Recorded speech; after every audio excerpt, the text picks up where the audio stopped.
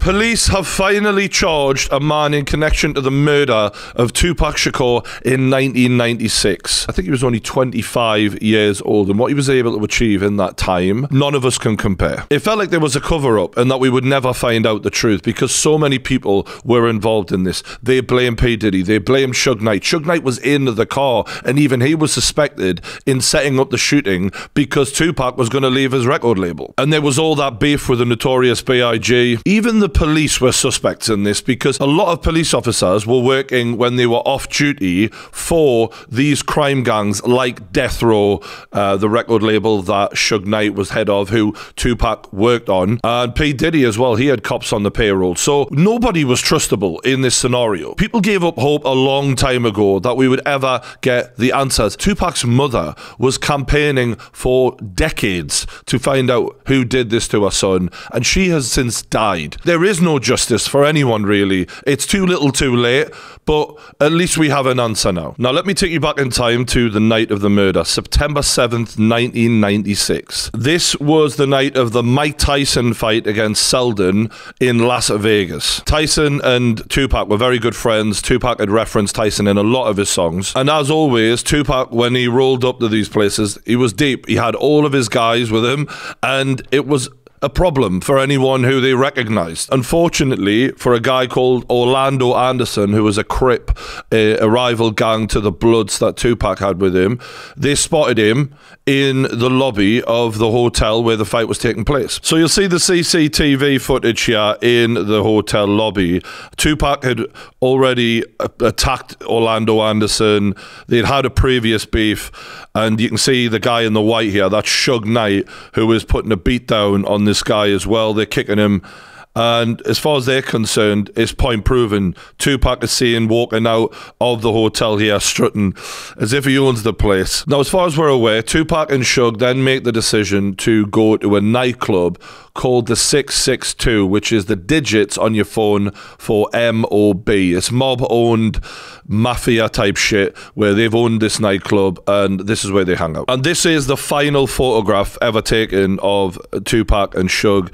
Uh, Suge at the driver's side, Tupac on the passenger side. Now, obviously, what was known at that moment was Tupac pulled up at some traffic lights on the Las Vegas Strip and another car, which was a white Cadillac, pulled up alongside and emptied the clip into the car. Tupac was hit killed. He did survive for about six days, I think it was six or seven days after um, the initial shot went in, but he wasn't conscious. He'd been hit through the lungs, uh, which had filled up with blood, and, you know, he was never going to be the same again after that, which people didn't really accept because he'd also been shot like a year before this and survived that. So Tupac was like immortal and indestructible. So for him to actually be shot again, people kind of were just like, he'll pull through because he didn't die immediately people just believed he'd pull through. Orlando Anderson was obviously the main suspect, being that he was the guy who got jumped by these guys. However, he was killed not long after this, and as were a lot of people, as you can imagine, because in these wars, that's the way it was. But one guy who was in the car didn't get killed.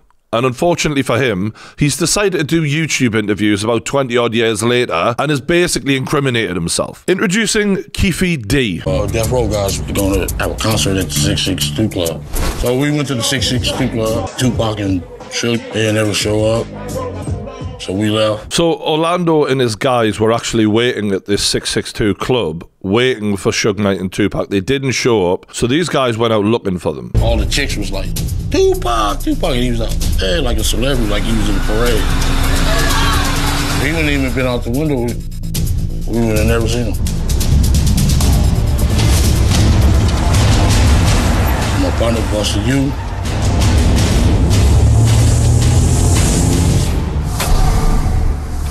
When we pulled up, I was in the front seat. You said the shots came from the back.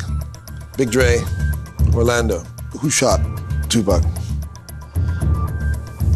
The keeper for the cold of the streets. It just came from the back seat, bro. So he's claiming, oh, it came from the back seat. I was in the passenger seat. I mean, you would, wouldn't you? Like, because what he's trying to do here is get all the clout for being involved and allude to the fact that it was me, but Yeah, came from the back seat. And those guys just so happen to be dead. A likely story. And the fact is, he's been doing interviews about this for years now. It kind of goes back to what Chris Rock once said about if you ever want to get away with uh, a murder, just put a demo tape in the pocket of whoever you kill because police don't care about rapper deaths. These are interviews from years ago. Keffe D, I feel remorse for Tupac, but attacking Orlando gave us the green light. This is four years ago. How it took this long is insane. So this is the mugshot of Keffe D, aka Duane Davis, and he's taken into custody by Las Vegas detectives. He's 60 years old, and the, the brother of uh, Tupac, Mopreme, who is his stepbrother, has actually slammed detectives and said, We've been through decades of pain.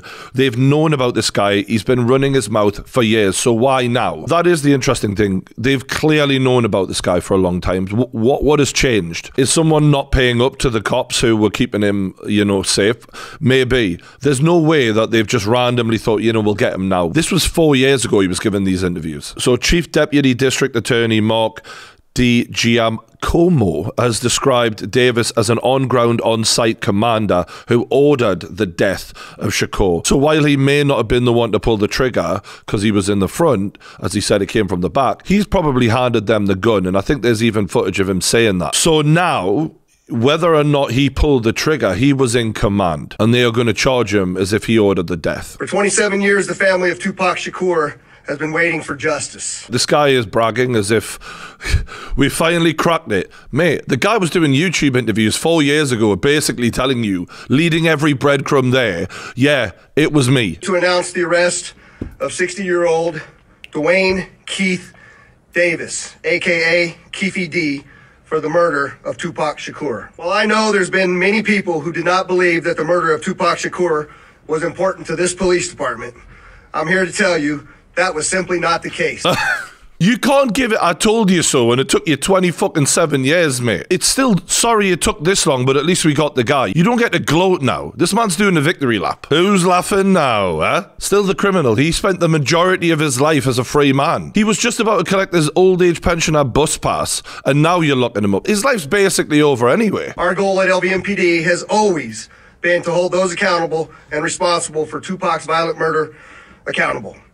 Just like we do for every homicide victim in our city. He's just really using this as, a, as an opportunity to do a bit of good PR. So let's go back to the cop now who found Tupac at the scene of the crime and actually held Tupac as he took some of his last conscious breaths. Check this out. This man doesn't live far from Keffe D. They live like a couple of streets away from each other. And this is the guy who was investigating the case. They always say it's the one closest to you. most everybody who is involved in this whole incident is dead at this point. So, um, I think you, know you run your mouth, you you, you talk you talked yourself into a search warrant.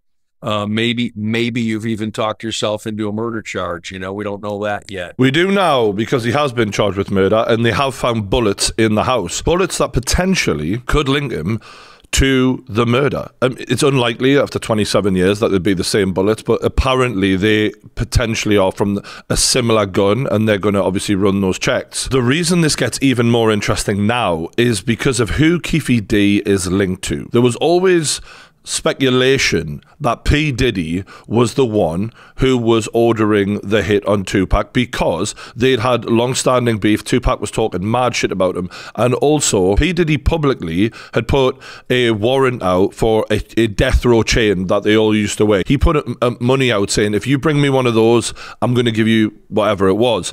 And you don't get chains like that but peacefully, yeah? Like, so he'd already made threats in that way. And the problem for P. Diddy is Keffe D has publicly spoken about looking after P. Diddy. So I want to backtrack. You said that um you was on top of the world until you met Puffy. What you mean by that? Man, shit, I was getting 300 kilos a month, man. Balling, man. Brother Love, come show some love. That's all I can fucking say. Show some love, Brother Love. You know, shit. Brother, I be seeing you doing your little pretty dance and all that, man. Show some love, homie. Come on, man. Don't be like that, Brother Love. I was on top of the world till I met your motherfucking ass, dude. Shit is wrong, dude.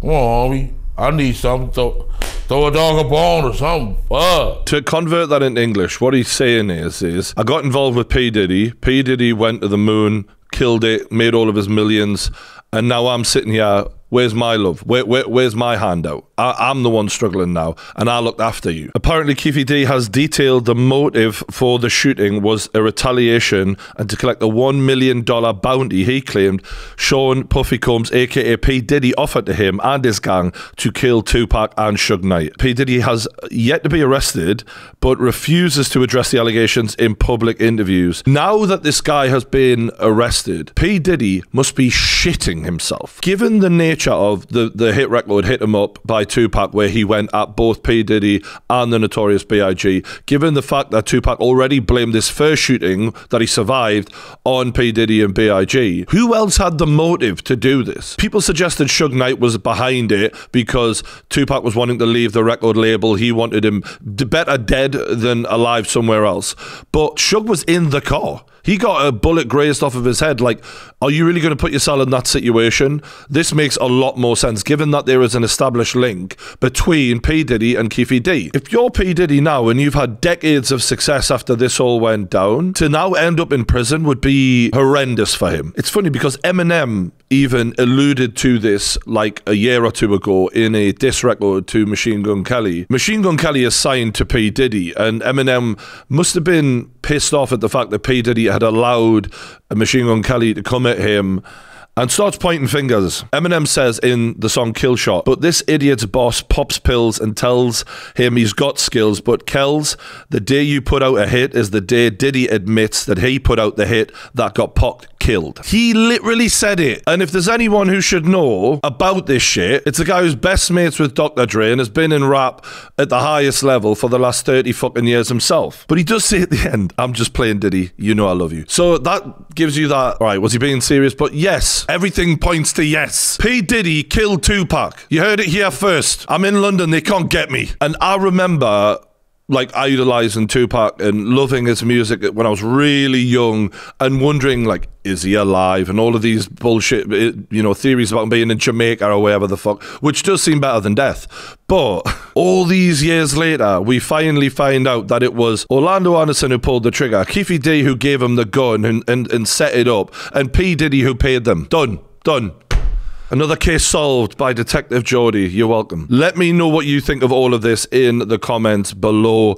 Because pretty much everyone who was involved in this is either dead or in jail. Look at Suge Knight. He is in jail. He's a shadow of the man he was. So, really, there is no more retribution to be had. It is just jail for Keith D. But if they bring down P. Diddy, a billionaire, wow, that is mental. And he really, he's recently been giving all of his publishing rights back to the artists that he basically held hostage for two decades. So, he's feeling a bit charitable, weirdly, lately. I don't know why. Let me know what you think in the comments below. Hit that like button. Stay subscribed to the True Geordie YouTube channel. Thanks for watching, and I'll see you on the next one.